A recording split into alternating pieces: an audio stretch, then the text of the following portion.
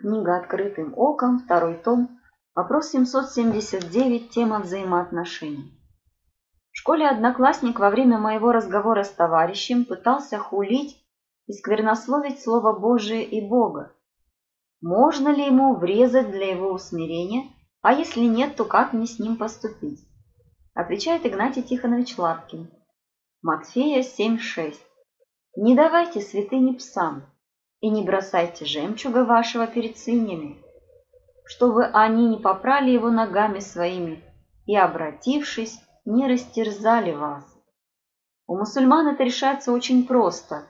Их руководитель, Аятолла Хомейни, пустил, в кавычках, черную стрелу против Салмана Рушди за его сатанинские стихи и каждому, кто убьет его, обещано вознаграждение в 5 миллионов долларов. Жена тут же с ним, может быть для виду, развелась, и его скрыла английская служба безопасности. Очень редко под усиленной охраной, но он выступал перед студентами в Америке. Его стихи переводили в других странах, как в Японии, но переводчик тот же был убит, и выход книги не состоялся. Даже Советский Союз с его страшной, поистине сатанинской тоталитарной системой, так и не дерзнул издать у себя эти стихи. Политологи настойчиво не советуют. А ведь могли бы издать многомиллионными тиражами и за бесценок продавать, как сделали с книгой «Протоколы сионских мудрецов», не убоявшись масонов. Не сделали, испугались, о чем пишут открытым текстом, перетрусили хваленные коммунисты. Вот если бы так обещано было вознаграждение Ярославскому губельману, Демьяну Бедному, то ни один бы номер безбожника или забавной Библии не увидел бы света. Но христиане сглотнули и это. Нисколько патриарх Алексий II не протестовал, и верующие не митинговали против показа фильма Скорцезе «Последнее искушение Христа». Его все-таки показали в самой популярной программе, в наиболее читаемое время. Значит, нас, христиан, не боятся и не уважают. А ведь могли бы и христиане врезать и сослаться на очень веский аргумент. Иоанн Златоуст прямо советует ударом кулака заградить хульные уста безбожника. И за это обещает награду от Бога. Зная содержание Библии, могу сказать, что нам, христианам, не даны черные стрелы, но дано только молиться о прощении врагам обиды. И чтобы они примирились со Христом, ибо не ведают, что творят. Действительно, Иоанна 7,17. Кто хочет творить волю Его, тот узнает о сем учении, от Бога ли оно, или я сам от себя говорю. Практическое исполнение Евангелия показывает, что учение Христа – это воистину божественное и небесное. Рассказывают о трогательной дружбе в жизни одного христианина с евреем. Никто никого не перетягивал в свою веру. Однажды еврей выразил свое желание принять христианскую веру. Но перед этим решительным шагом сначала сделать паломничество в Рим и увидеть все своими глазами, посетить святыни. Добрый христианин пытался его отговаривать под разными предлогами уже предчувствуя его отпадение, ибо знал, что творится там. Какой несусветный разврат затопляет вечный город и особенно папский двор. Долгих три месяца он ожидал своего Абрама, думая, что когда тот все это увидит, то будет только плеваться перед его лицом. Наконец сообщают, что корабль его друга швартуется в пристани. Каково же было удивление Терентия, когда он увидел радостного еврея, который бросился к нему в объятия и сказал, «Все, сегодня же принимаю крещение. Воистину, ваша вера самая святая, она божественна и несокрушима. Позволь спросить тебя, друг мой любезный и ненаглядный, да был ли ты в Риме?» «Да, не только был, но сам все своими глазами видел и слышал». И после всего ты желаешь стать христианином? Да, непременно.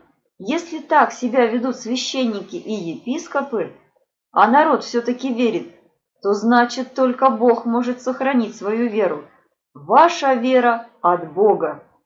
Будь моим восприемником. Отойдите от хулителя, но предварительно скажите ему, что его, что его ожидает и с кем он отныне будет иметь дело. Евреям 10.31 Страшно впасть в руки Бога живаго. Римлянам 12.19 Не мстите за себя, возлюбленные, но дайте место гневу Божию, ибо написано «Мне отмщение, я воздам», говорит Господь. Ответ Сергея Есенина Демьяну Бедному. Я часто думаю, за что его казнили, за что он жертвовал своей головой. За то, что враг суббот, он против всякой гнили отважно поднял голос свой. За то ли, что в стране проконсула Пилата, где культом кесаря полны и свет, и тень, он с кучкой рыбаков из бедных деревень за кесарем признал лишь силу злата. За то, что по частям он разрывал себя, и горю каждого был милосерд и чуток, и всех благословлял, мучительно любя, преклонный возраст, юность и крошечных малюток. Не знаю я, Демьян, в Евангелии твоем я не нашел правдивого ответа. Там много бойких слов, ах, как их много в нем. Но слова нет достойного поэта.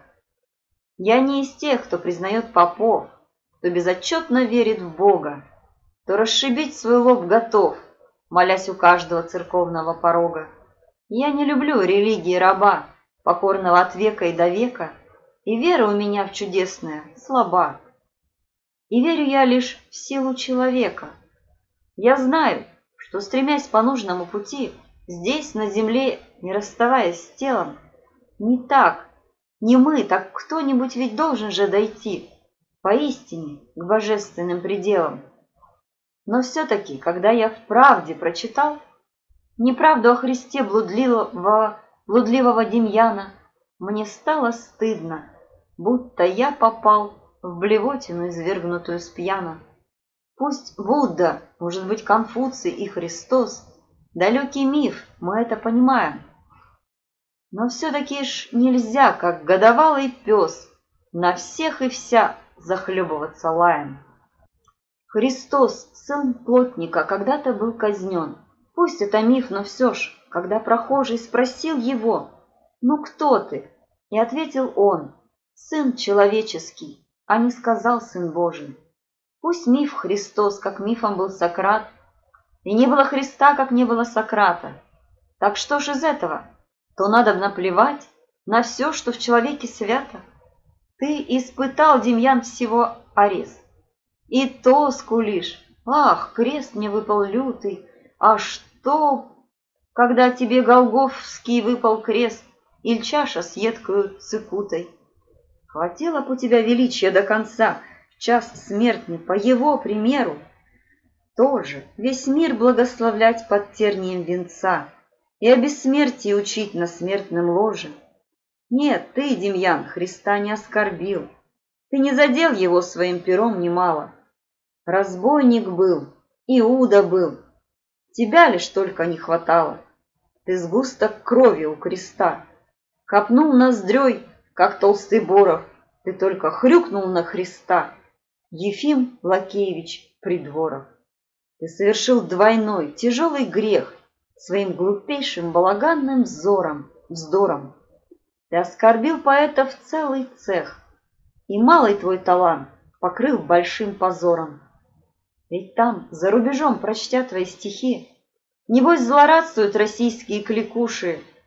Еще тарелочку Демьяновой, Демьяновской ухи, Соседушка, мой свет, пожалуйста, откушай.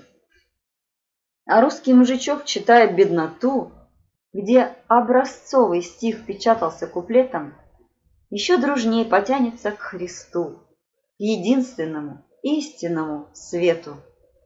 В оригинале последняя строка звучит так, а автору Пасквиля мат пошлет приветом.